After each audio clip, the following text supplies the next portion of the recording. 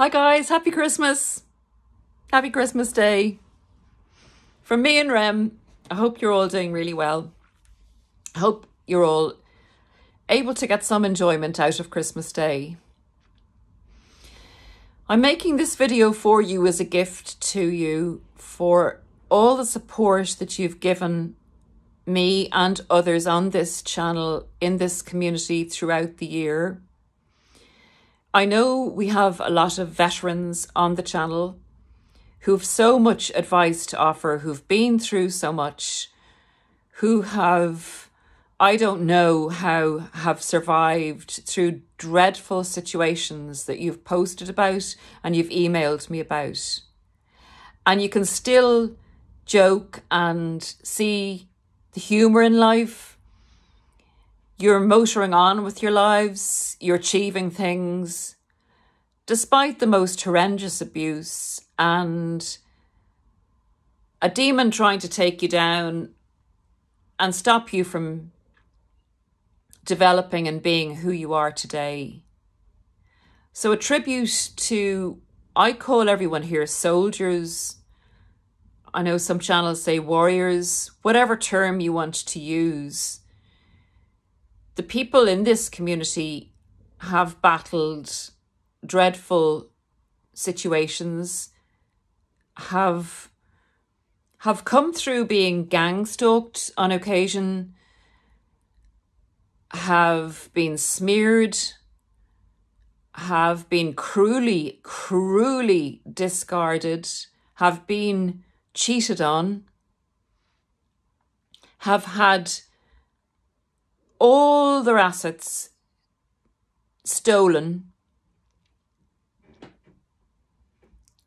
and worse, have had their children taken away from them.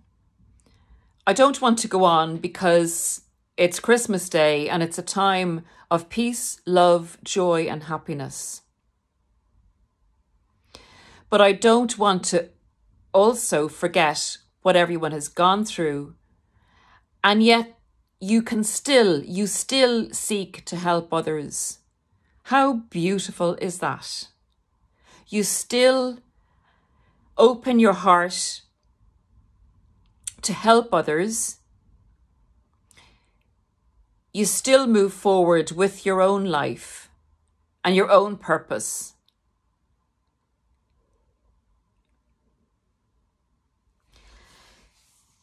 A subscriber sent me an email, and this is a long term subscriber and a great supporter also. And he said, and you know who you are, but I don't want to mention your, your name just to, to maintain your privacy in case you don't want me to talk about this. And this person said he walked along the beach on his own on Christmas Day and felt in the depths of despair and saw a lot of couples and thought about the narcissist having a good time with the new supply, drinking wine and having sex and having a wonderful meal and just having a great time while he was there walking along the beach on his own. It's a really, really hard time it's a hard day if it's your first Christmas without the narcissist.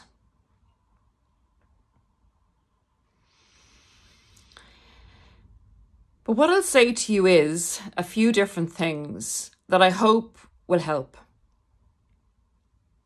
If you remember back to your Christmases with the narcissist, if you were in the love bombing stage fine, you might have had a relatively good Christmas. But I will nearly guarantee you that something will have happened on that Christmas day to take some of that pleasure away because a narcissist cannot go a full day like that without drawing some drama or attention to themselves. Fine if they have set the Christmas day up and they've set everything up and it goes the way they want it to go and you're happy because of because of what they've done. But if they see you being happy because somebody else has given you a gift or your happiness is caused by anything other than caused by them, they will have taken some affront to it. I remember I, I spent two Christmases with the narcissists, and I'll I'll just share this with you. The first Christmas, my family traditions were not respected. I was severely triangulated with his ex.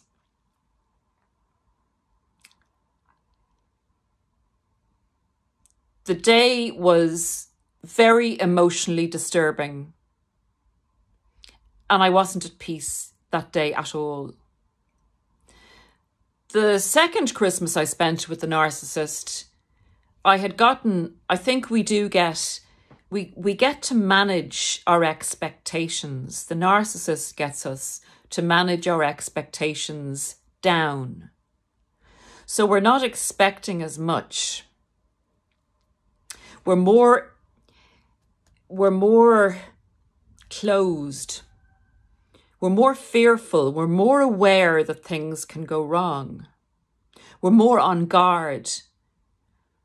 We're more cautious that something we may do may cause the narcissist to cause us issues or ruin the day or cause issues on the day. The second Christmas, that would have been the way I would have been. And we got through the day and it was enjoyable. The narcissist did something inappropriate in company, but it was passed over. But what did happen was, again, his ex um, was, I think, trying to ruin the Christmas Christmas day, and he did get numerous phone calls from her about some drama that was going on with the children. And he mentioned it to me, but for some reason it didn't bother me. I just continued to enjoy my own Christmas day. I think we get, as I said before, we, we become more closed. We become aware that yes, these things are going to happen. And maybe we remove ourselves. Maybe it's the start of the boundary setting and the removing of ourselves from that person something inside us inside us knows that this isn't normal and this isn't right. And you kind of go, here comes the drama, here comes the drama, and you kind of back back away from it. Well, that's what happened in my second Christmas. So, guys, on the third Christmas, I was not with the narcissist. I had been discarded that summer. And the first Christmas is hard because you do have some good memories, as I said in the last video in relation to hoovering. They have set you up with some good memories. It's not all bad. We wouldn't have stayed if it was all bad. The overriding aspect of the transaction ship with a narcissist is horrendous, and the outcome is more than bad. But there will be intermittent good times in this situation that you're in with a narcissist to keep you around. The intermittent push and pull. So, guys, what I'll say to you in relation to finding it difficult on your first Christmas, think back to the drama. Because if you were with a narcissist, I can nearly 99.9% guarantee that, that your Christmases will have had drama in them. Realize in whatever state of grieving you may be in, or whatever state of emotional recovery or healing journey, that even if you're without the narcissist and this is your first Christmas, you have the ability to have a peaceful day without drama. You can also choose to have the day the way you want the day to be. And the main thing I'll say to you is if you're walking along a beach on your own and you're looking at other couples, you have no idea what those couples are going through. You've no idea if one of them is a narcissist or two of them are narcissists. You have a huge community of people who believe in love, who believe in the goodness of humanity, who may also be spending Christmas on their own individually on that day, not in a couple. But all of us together are like one. We all believe in beautiful, wonderful, joyous love, trying to help others, living a good lives, believing in humanity, believing in things that matter. You're part of that. We are all part of each other. I don't want anyone to feel alone out there because they're not part of a couple after narcissistic abuse on Christmas Day. You and you and you over there and you sitting in your sitting room and you outside on a walk listening to the video. All of you are my friends. All of you are part of us. You're not alone. We are together. We've come together because of what we've been through, but we've come together to create something much more special. We've come to create who we are and put that out into the world against the evil that we've encountered. We are an army of people. None of you are one person separate on your own. And you will meet someone that deserves you and that you deserve, if that's what you want. And you've been through this experience for a reason. I promise you that. Sometimes we have to go through things and time has to pass before we realize why we went through them. So don't fight against what you've been through because there's always a reason and it will be revealed to you in time. Just have faith. Have faith that you're on the right road, that you're not alone. We're all part of each other. Just remember that.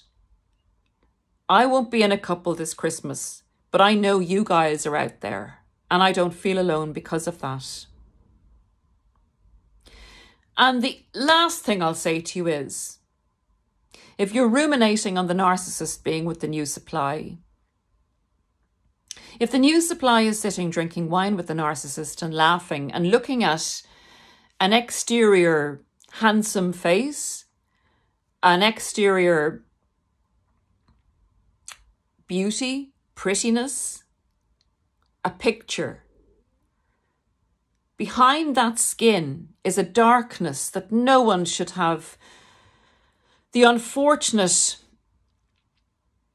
look to be coupled with. There is nothing there for you. There's nothing there for the new supply. This person is made up of a mask a mask to which they've added parts of other people. They've seen someone acting in a certain way in a certain situation and they've copied that person and they're doing exactly the same. And then they've seen another person doing something that they liked and that they saw got good reaction to. Or they look the same as a person that they thought looked good and they've copied what they do to themselves. They're a mishmash of a load of different people that can crumble away and change and become something else once they see someone something else or someone else doing something. They're changing all the time. They don't exist as one person. The true self is never going to come out.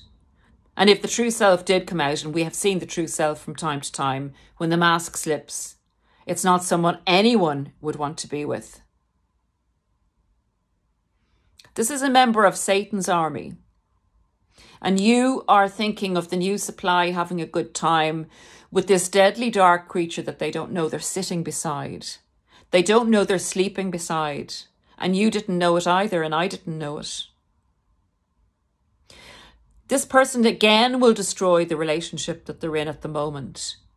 And they'll take this poor person that they're with down Unless they're a narcissist and then they'll try and eat each other up before they spit each other out and go along to try and find another meal of choice and a, another empathic meal of choice.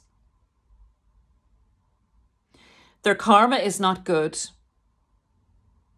They will be trying to come back to you at some stage if you're an empath. You now have the time to build on yourself before that happens so that you're strong enough when they do come back to not want them, to have worked on yourself, to have cared for yourself, to have improved yourself. So, this Christmas, if you're walking alone on the beach and it's your first Christmas, remember you're loved. Remember you're part of us. We're all part of each other. Remember, we have a movement going on here that you can contribute to in loads of different ways. A minimal contri- con- contribute to the movement is to subscribe to the narcissistic, anti-narcissistic abuse channels, to like, to share sub- and subscribe. That's a minimum you can do. Leave your comment, try and help others. Um, work on your life purpose. For this new year, improve yourself in some way, whether it's your mind, your looks, um, your job, your contribution to your family, whatever you, whatever stirs your soul and your heart. Become yourself, become much more of yourself by improving yourself. And I promise you, if the narcissist then comes along and wants you back, you would never go back to that crazy Alice in Wonderland existence. And guys, if you want to know why you can never have and no one can have a relationship with a narcissist, there is a video I did way, way back in relation to the narcissist being a functional lunatic. So that can also give some comfort in knowing that no matter how much you might miss someone this Christmas or think fondly in some ways about the narcissist, that you're having a relationship with a void, with someone who doesn't actually exist the person they presented to you doesn't exist. That's only a falsity so that they can get on in life and get supply and all that kind of stuff. There's a snarling, angry, dark force behind that exterior that may be an attractive exterior, but that's changing all the time to different situations and different people. And that's not what you get after the love bomb. Once the devaluation starts, you get this monster coming out more and more and more, and you really see who's actually there. And it's very frightening. So, guys, that's my Christmas Day gift to you. I hope it helps. We all have to to go through the pain to get through to the other side. There's no avoiding it. But getting the knowledge can speed your journey up, your healing journey up by two or three times. And it's really, really important that people know what, what they've dealt with because the narcissists do, they do a job on your mind and it can take years and years and years to unravel that. And some people never actually do if they don't know what they've been through. They keep blaming themselves. They they take on everything that the narcissist put in their head and they get screwed up by it some people commit suicide. Some people never recover. Some people become so bitter. Some people blame them, blame themselves and destroy themselves with drugs or alcohol or eating or whatever it is that they do because they feel so bad about themselves. So please, guys, share the videos, share your knowledge, and help others. Have a very, very happy Christmas, a very blessed, contented time and make your plans for the new year and look forward to improving yourself and finding your purpose again and to a great life.